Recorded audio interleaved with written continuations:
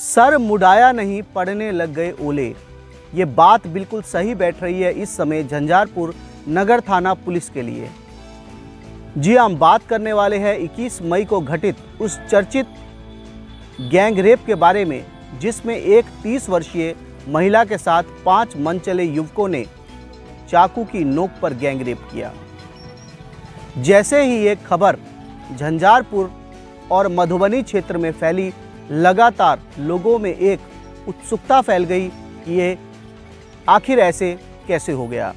जी हाँ अभी सुखेत हत्याकांड का मुख्य आरोपी पुलिस की गिरफ्त में भी नहीं आया है कि इससे पहले झंझारपुर पुलिस थाना की लिए एक सिरदर्दी और बढ़ चुकी है, क्योंकि जिस प्रकार से पाँच मंचले युवकों ने न केवल महिला के साथ गैंग रेप को अंजाम दिया है, बल्कि उसका एक वीडियो भी बनाया है और जिसे वायरल करने के नाम पर वह उन्होंने इतनी बड़ी घटना को अंजाम दिया है। जैसे ही ये वीडियो झंझारपुर और मधुबनी क्षेत्र में पहुँचा, लोगों ने पुलिस थाना के पुलिसिय रवैये के ऊपर एक सवालिया निशान उठाना शुरू कर दिया है कि आखिर झंझारपुर में अपराधियों का मनोबल इतना कैसे बढ़ गया है। जी हाँ ऐसी ही एक आपराधिक घटना की सूचना झंझारपुर नगर थाना क्षेत्र के अंतर्गत से आ रही है, जहाँ पर एक 30 वर्षीय महिला के साथ पाँच मनचले युवकों ने गैंगरेप किया है। न केवल उन्होंने गैंगरेप किया है, बल्कि चाकू की नोक पर इस वीडियो को, वीडियो भी बनाया है और वीडियो को वायरल करने के नाम पर हो सकता है डराया धमकाकर इस तरह की बड़ी घटना को अंजाम दिया है।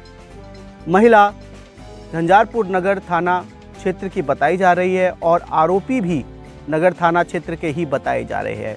प्राप्त जानकारी के अनुसार महिला एक स्थानीय गेस्ट हाउस में काम करती थी, जहाँ से पाँच युवक उन्हें ज़बरदस्ती रात को आठ बजे घटना 21 मई की बताई जा रही है, जहाँ पर 21 मई को उस पाँच चले, पाँच मन चले युवकों ने उस महिला को चाकू की नोक पर एक दूर आम की गाछी में ले गए और वहाँ पर इतनी बड़ी घटना को अंजाम दिया।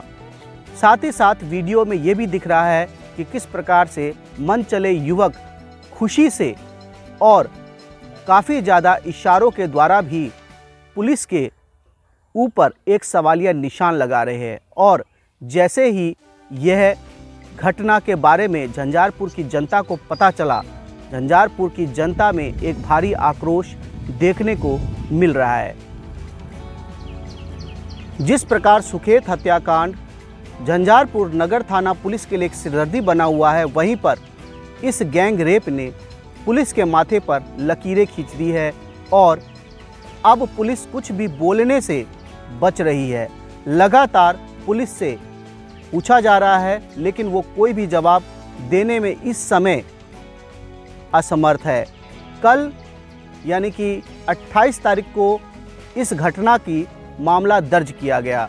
प्राप्त जानकारी के अनुसार 24 तारीख को भी मामले को लेकर महिला एवं उसका पति झंझारपुर पुलिस थाना में पहुँचा, लेकिन थाना अध्यक्ष ने इस केस को लेने से इनकार कर दिया। लेकिन लगातार दबाव में कल इस मामले को दर्ज किया गया और साथ साथ कुछ आरोपियों का बयान लिया गया। कुछ आरोपी इसमें फरार बताए जा रहे हैं, जबकि एक आरोपी को पकड़ा भी गया है। मामला बहुत संगीन है और झंझारपुर पुलिस के लिए एक बहुत बड़ी पहेली है।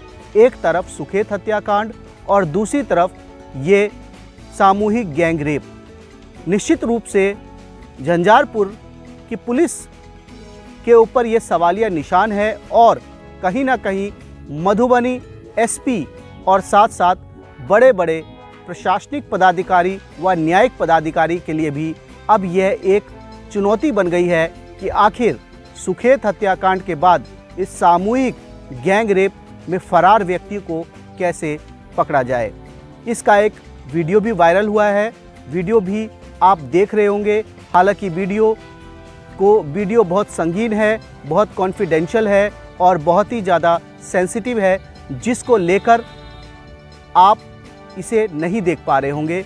लेकिन वीडियो 35 सेकंड का है, जो लगातार इस समय वायरल हो रहा है।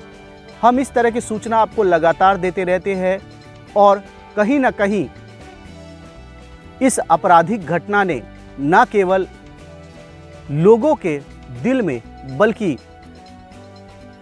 कहीं ना कहीं इस आपराधिक घटना ने न केवल कहीं ना कहीं कहीं ना कहीं इस आपराधिक घटना ने, कहीं ना कहीं इस आपराधिक घटना ने न केवल झंझारपुर पुलिस के ऊपर सवालिया निशान लगा दिया है, बल्कि आज आम आदमी भी डर चुका है कि आखिर ये जंगल राज नहीं है तो क्या है? इस तरह की घटना समाज में मानवता को शर्मसार करने वाली घटना है। आरोपी में से कुछ एक को पकड़ा गया है, बाकी अभी फरार बताए जा रहे हैं। पुलिस अब क्या कदम उठाती है और कितनी जल्दी इस मामले का उद्भेदन करती है और यदि उद्भेदन करती है तो आरोपी कैसे पकड़े जाते हैं, ये देखना काफ़ी दिलचस्प होगा। हालाँकि झंझारपुर में इस समय यह एक चर्चा का विषय है। हमने इस खबर को आप तक पहुँचाया, उम्मीद इस खबर से जुड़ी सभी छोटी बड़ी, इस खबर से जुड़ी सभी छोटी बड़ी खबरों के लिए लगातार देखते रहे खबर आसपास। जय हिंद, जय भारत, जय मित्र